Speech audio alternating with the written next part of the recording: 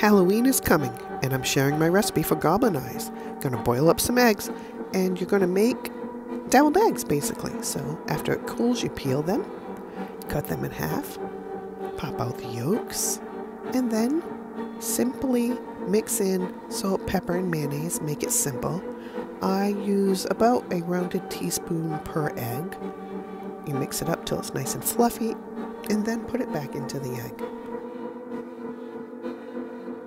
And to keep it spooky, I'm going to use olives in the center of the eye, so it's like they have glowing red eyes.